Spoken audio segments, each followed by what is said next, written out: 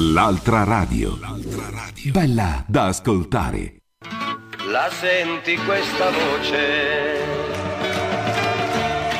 Chi canta?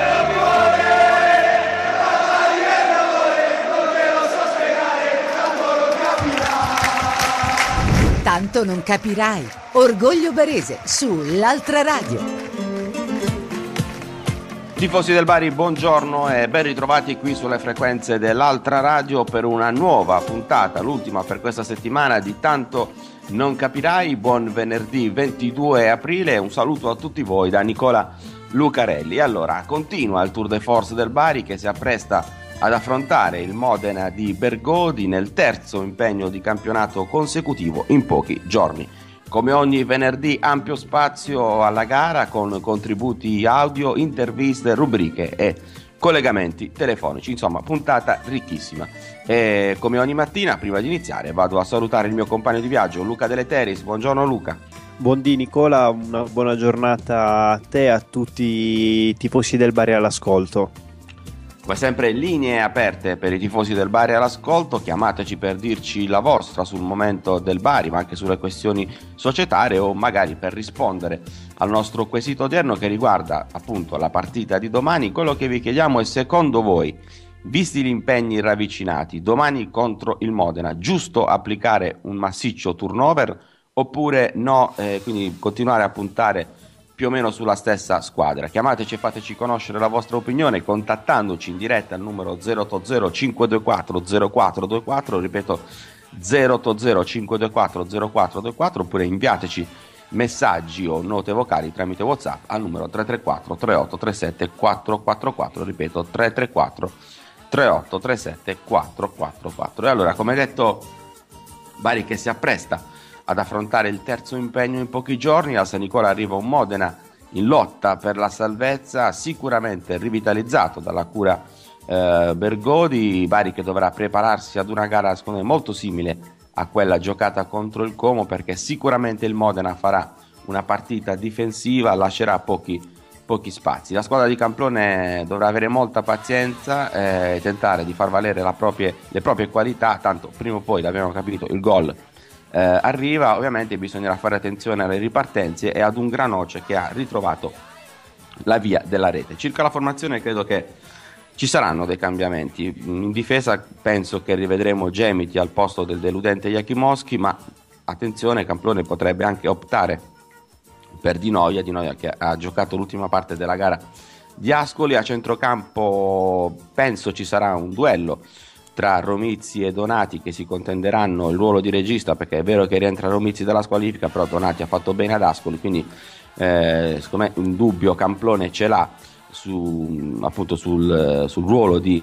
3 a giocarsi gli altri due posti in, a centrocampo mentre in attacco forse potrebbe avere qualche chance De Luca io non escluderei neanche Puskas che visto il momento non brillante di Maniero potrebbe magari approfittarne e quindi giocare nuovamente titolare. Intanto procede in maniera spedita la vendita dei biglietti sino alla giornata di ieri, staccati oltre 6.500 taglianti e in tribuna ci sarà ancora una volta l'uomo d'affari malese Nordin Ahmad, accompagnato ovviamente dal suo avvocato Grazia Iannarelli. Insomma Luca, eh, domani potremmo vedere quei 4-5 cambi rispetto ad Ascoli.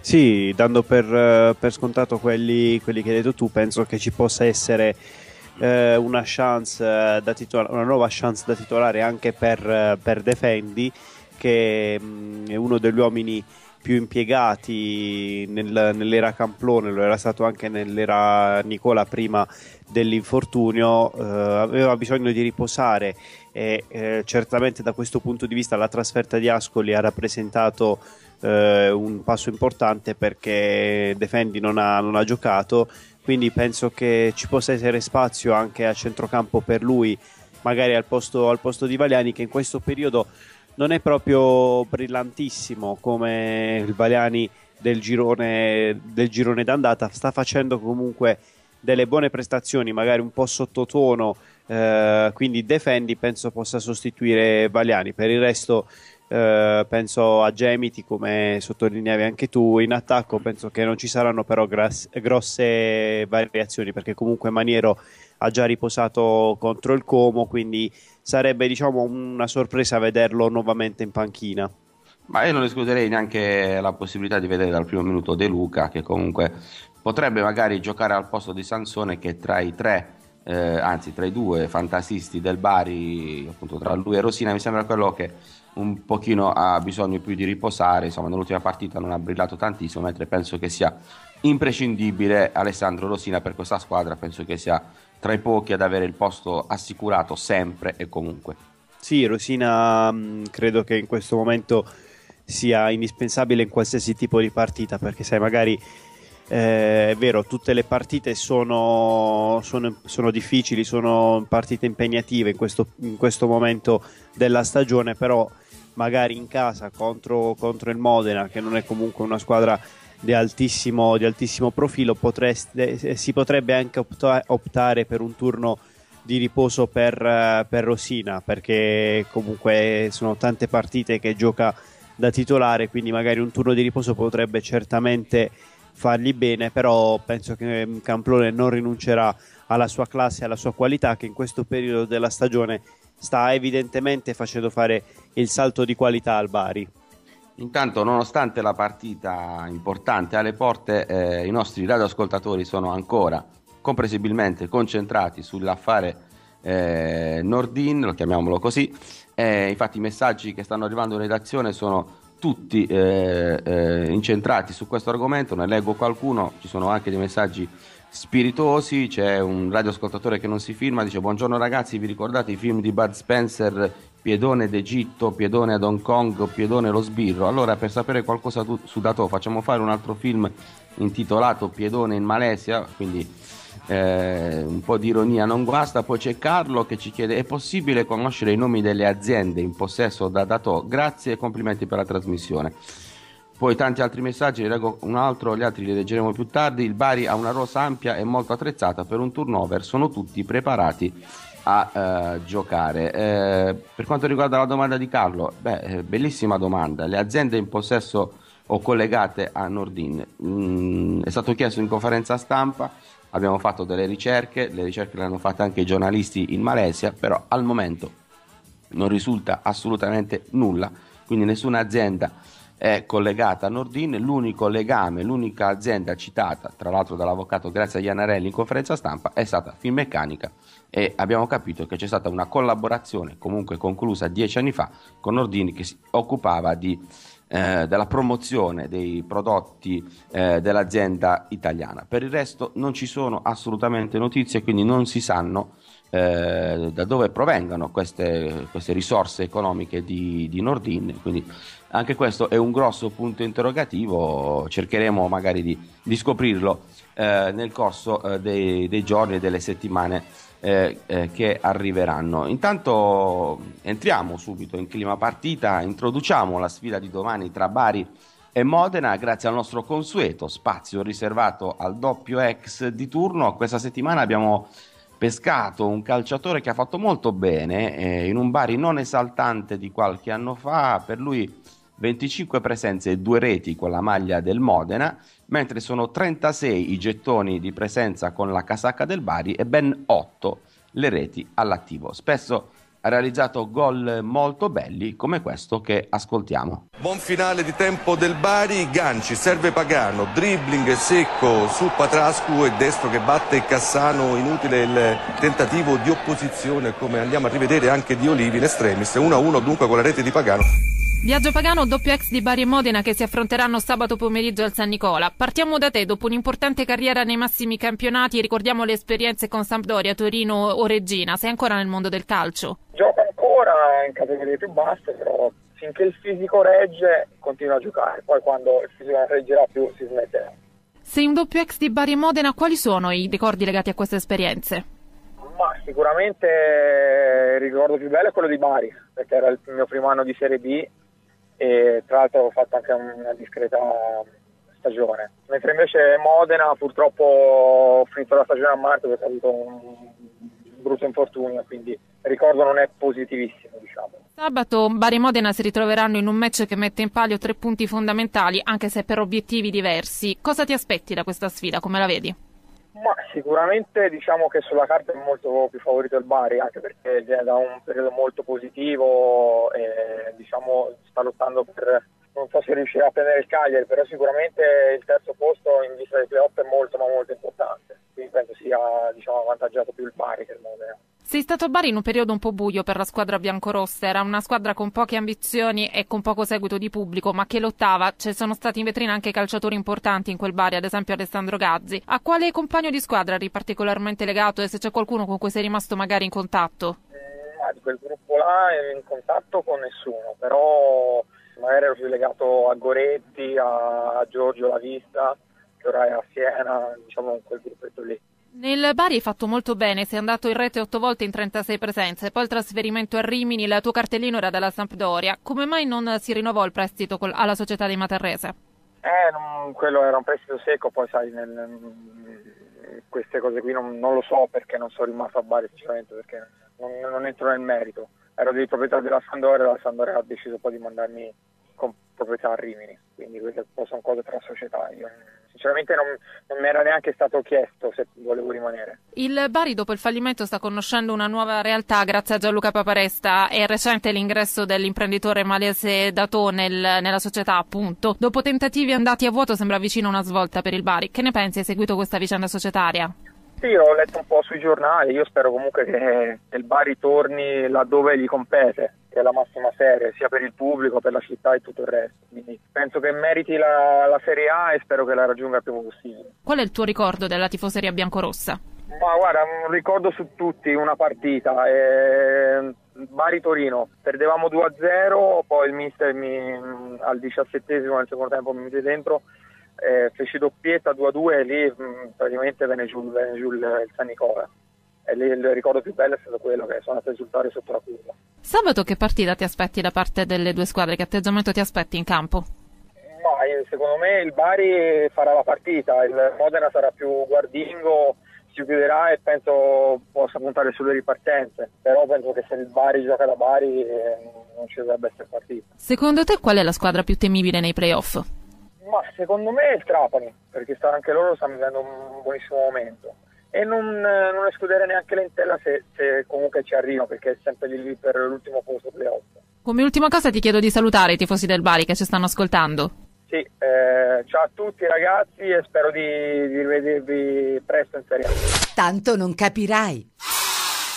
Beh, sicuramente evoca bei ricordi di Biagio Pagano, calciatore che in quel periodo un po' buio era tra i, tra i migliori, secondo me tecnicamente molto molto bravo, io mi aspettavo una carriera anche eh, diversa per lui. Luca, tu che ricordo hai di Biagio Pagano, lui ha citato questo Bari Torino 2 a 2, sicuramente un calciatore che magari poteva restare a Bari perché era secondo me tra, tra quelli che potevano dare uno slancio a quella squadra abbastanza insomma, piatta in quel periodo lì.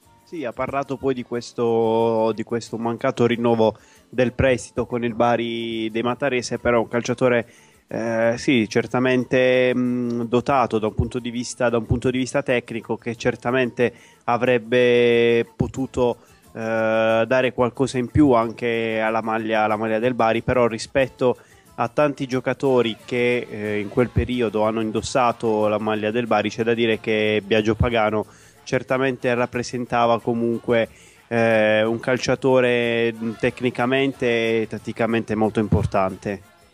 Intanto continuano ad arrivare tanti messaggi, c'è un radioascoltatore che da un paio di giorni ci fa una domanda specifica, noi cerchiamo di rispondere, in pratica ci, non, si, non, si, firma ma ci scrive scusate come mai allo stadio non c'è più la birra, eh, la famosa birra che si beveva fino a qualche anno fa e ci hanno rifilato quell'altro, quell'altro schifo di birra. Eh, per favore fateci sapere, sono notizie da dare anche queste, quindi dobbiamo farlo. Beh, eh, per un semplicissimo motivo, perché il Bari ha stretto un accordo commerciale con questa nuova eh, birra e quindi di conseguenza la, la precedente non c'è più, quindi anche questo è un discorso prettamente commerciale. Bene, data questa risposta continuiamo ad occuparci di Bari Modena e lo facciamo ascoltando cosa ha dichiarato in conferenza stampa uno dei veterani di questo Bari, vale a dire Massimo Donati, tornato in auge dopo la convincente prestazione di Ascoli. Sì, sì, ho fatto secondo me molto bene, una bella partita sotto tutti i punti di vista. Non era facile a livello personale perché quando giochi da, da parecchio tempo non è, non è facile, però credo di averla, di averla fatta bene e, e basta. Qualcuno ho visto che il giorno dopo mi ha messo 5 in pagella, però a me non è che cambia più di tanto. Anche perché... C'è stato qualche 5? Sì, sì, sì, sì. Anche perché in tutti questi mesi di, di... No, è sempre stato così, che tante chiacchiere ci sono state, però a me sinceramente le chiacchiere non mi hanno mai turbato più di tanto. Ho sempre pensato a lavorare, che penso che sia solo quello che, che alla fine ti fa o recuperare il terreno che hai perduto o importi di nuovo a me più che le chiacchiere piacciono i fatti e vengono fatti. Dal presupposto che anche se, se non ho giocato in questi, in questi, mesi, anche grazie ai miei compagni mi sono sempre sentito importante all'interno del, del gruppo. E devo ringraziare anche la società che nonostante appunto non giocassi mi è stata, mi è stata molto vicina, eh, sia con le parole che con i fatti, quindi io non ho mollato di una virgola, quando non sono stato convocato mi sono allenato eh, al massimo aspettando che arrivasse nel primo momento l'opportunità. È arrivata, l'ho sfruttata, e, però adesso non cambia nulla, cioè, alla fine siamo un gruppo e abbiamo un obiettivo, poi se gioca uno, gioca l'altro, eh, non è importante, l'importante è che raggiungiamo l'obiettivo, perché eh, sì, si gioca in 11, ma ci sono, ci sono gli altri, anche gli altri che non giocano. Io non ho giocato tanto tempo, ma ci sono anche altri ragazzi che non giocano per che non giocano da parecchio tempo, quindi dobbiamo avere tutti la stessa mentalità e la stessa voglia di, di raggiungere l'obiettivo assieme, a prescindere se uno fa in un campionato 40 presenze o ne fa 10, perché eh, sono dell'idea che in un campionato, una squadra che vince, molte volte sono più importanti i giocatori che giocano meno che quelli che giocano più. Le partite le valutiamo sempre dopo, eh, quando riprendiamo però è anche vero che ogni partita è diversa l'una dall'altra, di conseguenza ci sono situazioni diverse, squadre che affronti diverse, situazioni diverse in, tante cose, quindi ogni, ogni partita ha la sua storia. E ad Aspi non era assolutamente facile, loro devono salvarsi quindi era difficile per tanti aspetti, abbiamo incontrato delle difficoltà ma credo che le abbiamo gestite e superate molto bene. Novembre e dicembre l'ho passati con un mal di schiena, che era un mal di schiena importante, però non ho saltato un allenamento, però tenevo duro, cioè, poi è vero che non ho fatto bene, ma avevo anche questa cosa qua che nessuno sa, però sono tutte cose che, che alla fine a me non è neanche interessa che la gente sa, tanto io so quello che faccio, so che quando mi presento in ritiro all'inizio del campionato arrivo col 5% di massa grassa, so che mi alleno quando non ci si dovrebbe allenare ma le so solo io e me le tengo per me, tanto io vado dritto per dritto, poi tutto quello che pensa la gente, a me non, non mi interessa. Dopo io, secondo me pago qua a Bari, soprattutto il fatto quello che è successo anni fa, quello che è successo anni fa, perché però nessuno sa che io qua ho dato tutto, quegli, pure quel, quell'anno lì, quell'anno disgraziato che fu.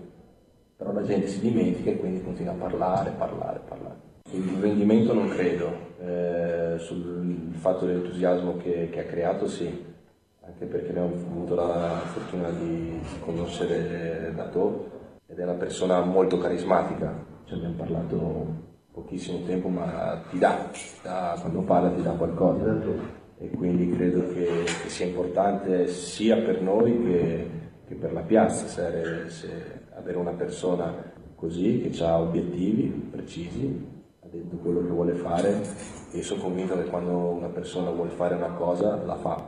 Quindi noi dobbiamo aiutare lui, lui deve aiutare noi. L'altra radio. L'altra radio. Bella da ascoltare. È un Donati leggermente polemico, almeno questo è quello che ho colto da questa conferenza stampa, addirittura Donati che si è lamentato di un 5 in pagella dopo la partita di Ascoli, è un Donati che ha sottolineato come in questi mesi ha avuto comunque problemi fisici, problemi alla schiena. Luca, beh insomma dare 5 in pagella, ora non so a quale giornale si riferisse, però 5 in pagella a Donati ad Ascoli insomma non mi sembra un voto corretto. Lasciami dire che è abbastanza, abbastanza assurdo perché comunque Donati ha fatto un'ottima gara eh, a prescindere da questo, io credo che eh, molto spesso lui sia stato oggetto di una vera e propria mh, campagna denigratoria da parte di alcuni eh, tifosi, eh, anche da parte diciamo, di, alcuni, eh, di alcune testate, però ehm, Donati io penso che ogni volta in cui è stato chiamato, chiamato in causa eh, ha sempre fatto, fatto il suo, ha sempre dato un contributo importante o meno che sia, perché chiaramente come sottolineava lui,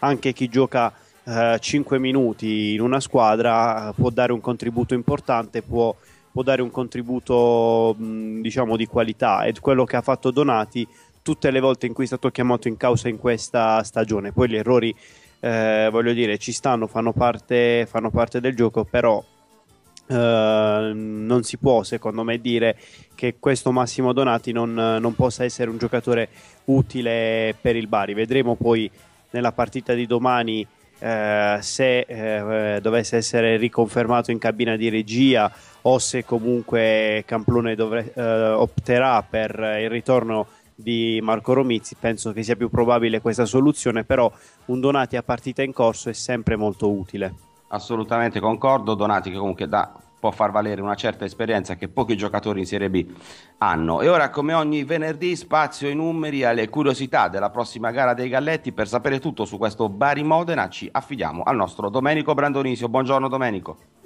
Buongiorno Nicola, buongiorno Luca e buongiorno a tutti i radioascoltatori. Allora Domenico, cosa ci racconta l'album dei ricordi? L'album di ricordi innanzitutto ci presenta una partita che è una specie di testacoda perché comunque il Modena nonostante il 3-0 rifilato al Perugia resta inchiodato al diciottesimo posto in classifica con soli 39 punti, mentre dall'altra c'è un Bari che quota 63 punti e Dissato in terza posizione, 18 vittorie, 9 pareggi, 10 sconfitte lo score dei biancorossi, 11 vittorie, 6 pareggi e ben 20 sconfitte invece lo score del Modena si affrontano inoltre il quinto miglior attacco del campionato, quello del Bari con 53 reti, ma anche il peggiore attacco del campionato in coabitazione col Como con 33 reti. Uh, più o meno pari invece il livello della difesa, 40 i gol subiti dal Bari, settima del campionato, 44 quelli subiti dal Modena, ciò che fa della, di Caranini la nona difesa del campionato. Uh, sicuramente agli antipodi anche il rendimento in casa ed in trasferta di entrambe le squadre se il Bari al Nicola ha totalizzato ben 38 punti del sesto posto in questa classifica particolare, invece il Modena è la squadra che ha raccolto meno punti di tutti in trasferta, solo 6, ecco ciò la colloca al 22 posto. La striscia delle ultime 5 gare vede invece un Bari in uh, splendida forma, con 4 vittorie ed un pareggio, mentre per il Modena negli ultimi 5 turni sono collezionate una vittoria, un pareggio e ben 3 sconfitte eh, rendimento del ritorno vede il Bari adesso aumentare la propria media con 28 punti, sarebbe quinto, mentre invece il Modena con soli 15 punti raccolti è al ventesimo posto. I marcatori, i cannonieri delle due squadre sono sempre Maniero per il Bari con 12 reti e per il Modena Luppi a quota 7. Quanto ai precedenti in Puglia sono ben 36 eh, sono, e vedono 23 vittorie del Bari, 9 i pareggi e 4 eh, le eh, sconfitte. L'ultima vittoria risale al 14 settembre 2013, un San Nicola, vi ricorderete, desolatamente vuoto con ben 936 spettatori totali. Quella partita la risolse Ceppitelli. L'ultimo pari invece risale al 4 ottobre 2014, finì 1-1 con le reti di Caputo e Salifu. L'ultima sconfitta dei, dei Galletti al San Nicola risale invece al 21 gennaio 2012. In quell'occasione il Modena vinse la partita con un gol di Petri. Da ricordare tra le partite più recenti senza dubbio quella del 9 dicembre 2006, finì 1-0 per il Bari in panchina c'era Maran e eh, Gillet nel finale ebbe il merito di parare un rigore a Sforzini negando così ai canalini l'1 a 1 era un che viaggiava verso spedito verso i playoff che allora eh, arrivavano fino alla sesta classificata Tre gli ex di giornata sono Gemiti e Tonucci tra le file del Bari, Bentivoglio tra le file del Modena. Infine l'arbitro, il signor Ross di Pordenone, classe 1985, analista finanziario di, pro, di, di professione. Con il Bari in tre precedenti non c'è mai stata una vittoria, uh, soltanto due pareggi ed una sconfitta. I pareggi sono Bari Crotone e Bari Modena 1-1 l'anno scorso, la sconfitta quest'anno a Lanciano per 1-0. Perfetto, tra gli ex ricordiamo anche Camarà nel Modena. Eh, Domenico, una domanda e una risposta rapidissima. Romizzi o Donati? Domani chi, faresti, chi schiereresti? Io ritornerei all'antico sicuramente, quindi riproporrei innanzitutto Romizzi in mezzo al campo, non, non, si discute, la squadra da quando c'è il numero 4 biancorosso in campo ha ben altro piglio e per quanto comunque Donati sia un giocatore forte, affidabile, esperto e ricollegandomi al fatto di prima, forse uno dei pochi giocatori degni di quella, di quella triste annata a poter vestire ancora la maglia biancorossa, credo che comunque non possa avere sempre i 90 minuti nelle gambe quindi spazio assolutamente a Romizzi, poi magari Donati potrebbe subentrare come spesso sta capitando a partita in corso. Perfetto, perfetto, io ringrazio Domenico Brandonisio. Domenico, grazie mille, ci aggiorniamo la settimana prossima, buona partita. Ciao, grazie a voi, buona partita a tutti. Bene, ora in attesa di perfezionare un nuovo collegamento vado a leggere eh, qualche altro messaggio. C'è un ascoltatore che non si firma che dice la nostra è una squadra esperta con un'età media alta non effettuare un mini turnover sarebbe da pazzi, senza dimenticare che potenzialmente saremmo chiamati a disputare i playoff dove vincerà chi avrà più gamba. Poi c'è un altro radioascoltatore che dice ciao Nicola e Luca, io confermerei a Chimoschi a sinistra e farei rientrare Romizzi, poi un pensierino a Puskas in attacco, in attacco lo farei. Pronostico secco 2 a 0. Eh, insomma, mh, mm, radioascoltatori abbastanza uh, convinti circa l'opportunità di effettuare un uh, turnover. E ora, come ogni venerdì, spazio alla squadra e alla tifoseria avversaria per sapere tutto sul Modena di Bergodi. Ci affidiamo al collega giornalista di parlandodisport.it Matteo Migliori in collegamento da Modena. Buongiorno Matteo e ben ritrovato qui a Tanto non capirai sull'altra radio. Ciao Nicola, buongiorno a tutti gli ascoltatori. Allora Matteo, domani a San Nicola arriva un Modena reduce dal bel successo, successo per 3-0 contro il Perugia, magari una vittoria inaspettata per un Modena, un Modena, che sembra in ripresa. Sì, un Modena che ha passato una settimana molto positiva, come hai detto tu viene da una vittoria importante per 3-0, una squadra che ha il peggior attacco non ci, non ci si aspettava che potesse fare tre gol, non ne ha subiti, era una vittoria che mancava da, da sei giornate, quindi sicuramente importante che dà morale alla squadra di Bergodi, in più è stato ritrovato anche il gol di Granoce, quindi tutti segnali positivi che fanno ben sperare. Inoltre si, aggiu- si sono aggiunti 5 punti di penalizzazione inflitti a Lanciano che hanno portato la squadra di Bergodi a un solo punto dalla salvezza diretta, quindi sicuramente è un'ottima settimana che ha dato fiducia alla squadra giallo-blu. Modena che con Hernan Crespo in panchina ha avuto parecchie difficoltà a tirarsi fuori dai bassi fondi della classifica, mentre pare che Bergodi abbia individuato la strada giusta. Insomma, magari c'erano delle perplessità circa il suo arrivo. Bergodi, che tra l'altro è anche lui molto vicino alla panchina del Bari dopo l'esonero di Nicola. Bergodi, insomma, sta facendo bene, vi ha anche un po' sorpreso, forse, no?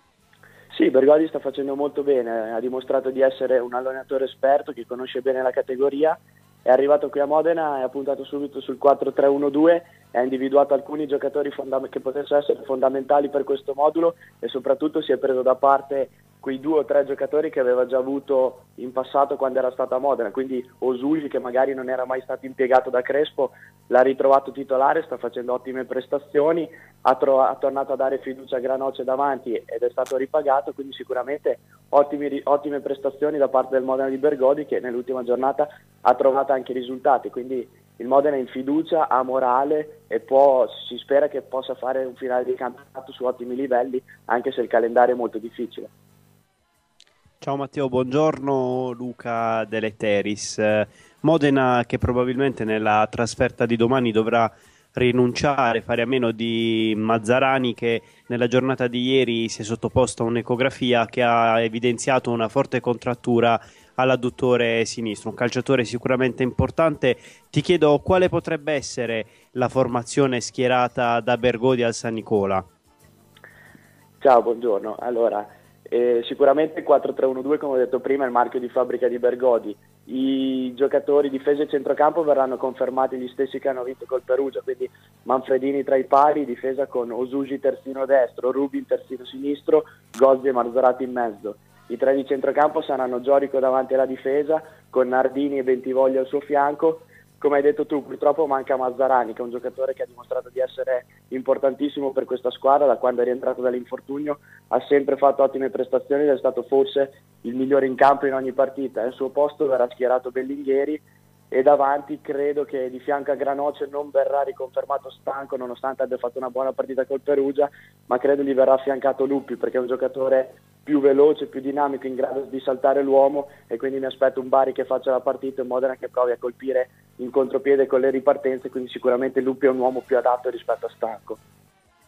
Bene, vi ricordo che siamo in diretta con Matteo Migliori di Parlando di Sport.it in collegamento da Modena. Matteo, tanti gli ex in casa giallo-blu, ah, o meglio, sono solo due, però tra, tra questi Bentivoglio e soprattutto eh, Camarà, l'abbiamo citato prima, che aveva iniziato la stagione proprio al Bari in prestito dall'Inter. Sicuramente un impatto positivo per lui nella vostra realtà, mentre qui in pratica non l'abbiamo mai visto per lui neanche un minuto con la maglia del Bari. Sì, quando è arrivato ha fatto subito buone prestazioni, è stato subito schierato da Crespo, ha, dimostrato di essere il giocatore che mancava al Modena, ovvero un giocatore veloce, dinamico, in grado di saltare l'uomo. Poi con il passare delle giornate è stato un po' accantonato, adesso è diverse partite che non lo vediamo in campo, addirittura nell'ultima contro il Perugia non è stato nemmeno convocato, quindi eh, è un giocatore che comunque nel corso del campionato e anche a gare in corso nelle varie partite può far comodo al Modena. Modena, l'hai detto tu prima, che se la vedrà con un Bari lanciatissimo che in casa difficilmente concede punti agli avversari. Corretto pensare ad una gara attendista da parte del Modena?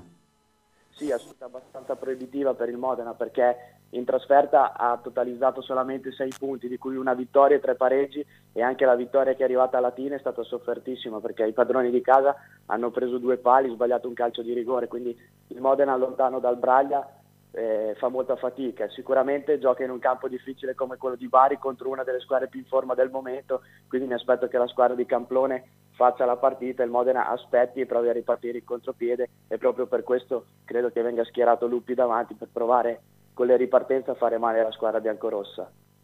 Matteo, ultimissima domanda per te, che clima si respira nella città di Modena in vista di questa gara e credi che ci sarà una rappresentanza di tifosi giallo-blu al San Nicola? Eh, come ti ho detto prima, questa gara è vista come una partita un po' proibitiva, difficilmente si pensa che il Modena possa portare a casa punti. È chiaro però che il calcio è fatto di episodi estranei, quindi può succedere di tutto e non va dato nulla per scontato, però i favori del pronostico sono tutti dalla parte del Bari e per quanto riguarda i tifosi giallo-blu penso che un centinaio possano arrivare a Bari, quindi sicuramente il Modena è sempre stato ben seguito ovunque da, dai tifosi giallo-blu che restano vicini alla squadra, anche in questo momento diciamo, dove il Modena deve essere aiutato per uscire da questa zona calda della classifica. Perfetto, perfetto. Io ringrazio Matteo Migliori in collegamento da Modena, Matteo Migliori di parlando di sport.it. Matteo, grazie mille, buona giornata e buona partita. Grazie a voi, buona giornata e in bocca al lupo per la partita di domani. Grazie, crepi il lupo, crepi il lupo.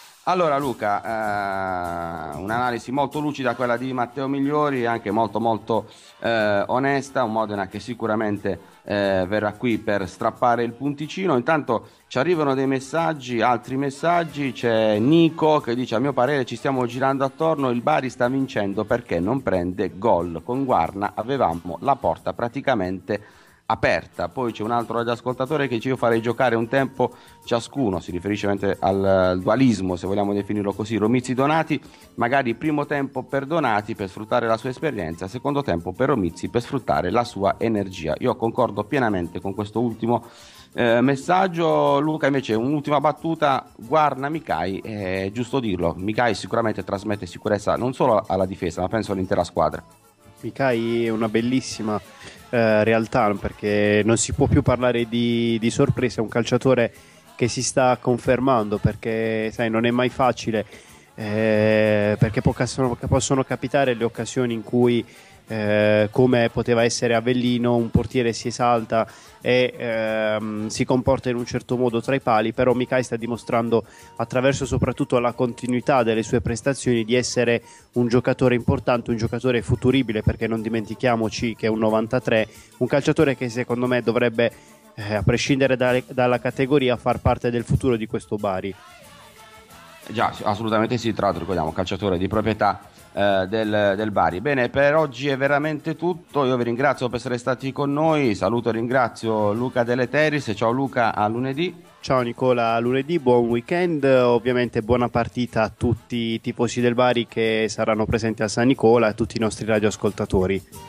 Ringrazio anche Domenico eh, Brandonisio e Fabio Scorcia in regia, mentre io vi do appuntamento a lunedì, sempre alle 7 con Tanto Non Capirai, Orgoglio Barese sull'altra radio, mentre vi ricordo che la replica della puntata andrà in onda alle 13.15, mentre in mattinata la puntata verrà caricata sul canale ufficiale YouTube dell'altra radio, ma sarà anche disponibile sul forum, sul sito di orgogliobarese.it e su tutte le nostre pagine Facebook. Forza Bari, eh, speriamo in una vittoria in altri tre punti, noi ci risentiamo lunedì mattina. Ciao da Nicola Lucarelli.